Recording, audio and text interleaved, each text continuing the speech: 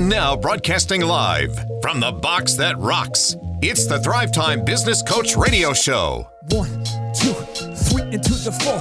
Clayton Z on the microphone, Daily Fo Show. Welcome everybody to our Daily Dojo, the show where we always teach you how to make more. And on today's show, we have Dionne Phillips, who comes through in the clutch like Chauncey Billups. Her clients include Serena Williams and Toni Braxton. How'd she do it? I'm just asking. Grab a pen and pad, welcome to the lab. It's time to turn your day around if you're feeling sad. So smile for a while, don't change that dial, cause Dionne Phillips keeps A-list actors in style.